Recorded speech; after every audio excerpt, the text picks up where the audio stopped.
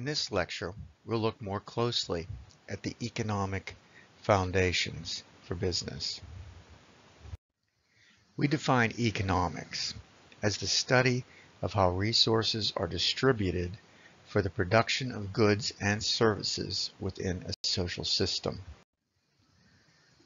We use the term resources to refer to natural resources, human resources, financial resources, and intangible resources. Natural resources are land, forest, minerals, water, and other things made by people, not made by people.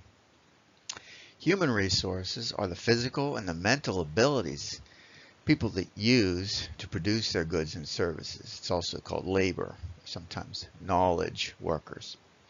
Financial resources are the funds used to acquire the natural and human resources needed to provide products. This is also called capital. Because human, because natural, human, and financial resources are used to produce goods and services, they are sometimes called factors of production. The firm can also have intangible resources, such as a good reputation for quality products or being socially responsible. The goal is to turn the factors of production and the firm's intangible resources into competitive advantage.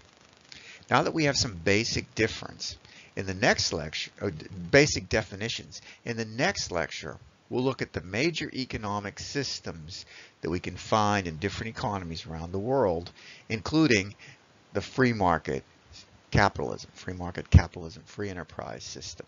We'll do that in the next lecture.